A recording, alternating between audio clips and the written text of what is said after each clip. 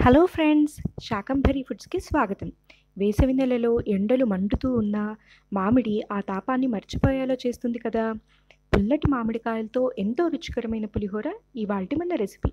కావలసిన పదార్థాలు తయారు చేసే విధానం ఎంతో సులభంగా క్విక్గా ఈ వీడియోలో చూసేద్దాం.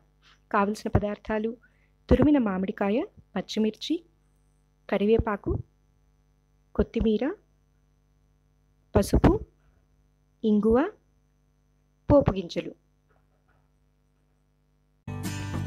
మీడియం ఫ్లేమ్లో పోపుకు సరిపడా ఆయిల్ వేసుకోండి. ఆయిల్ కాస్త వేడెక్కాక ఆవాలు చిటిపట్లాడించి శనగపప్పు ఉద్దిపప్పు వేసి అది కాస్త బ్రౌన్గా వచ్చే వరకు దోరగా వేయించుకోవాలి. ఇంగువ కూడా వేసుకుంటే మరింత రుచి.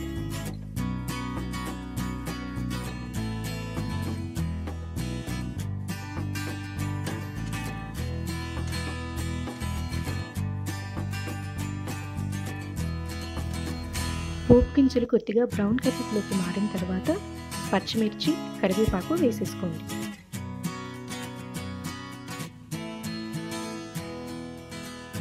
వెంటనే తురుము పెట్టుకున్న మామిడికాయ కూడా వేసుకోండి.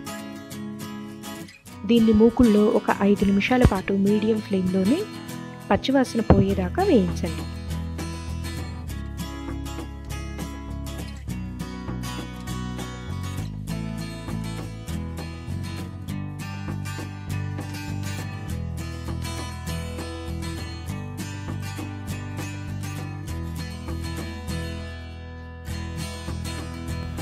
స్టవ్ మీద నుంచి దించుకొని ఒక ఐదు నిమిషాలకి కాస్త చల్లారాక ముందుగా తీసి పెట్టుకున్న అన్నాన్ని అందులోకి కలపండి.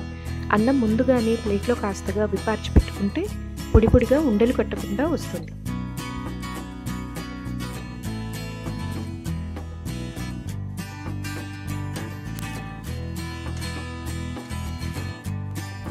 ఇప్పుడు సరిపడా ఉప్పు వేసుకోండి.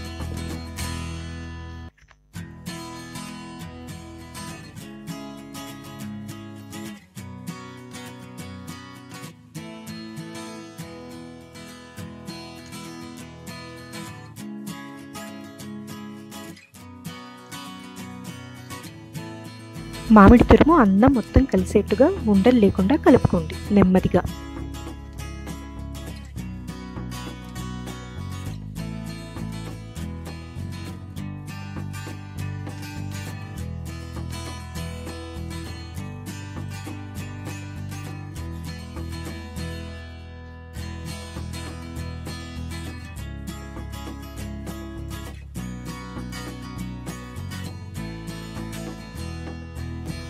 ఎంతో సులభమైన అత్యంత రుచికరమైన మామిడికాయ పులిహోర రెడీ. చివరిగా కొద్దిగా కొత్తిమీరతో గార్నిష్ చేసుకోండి.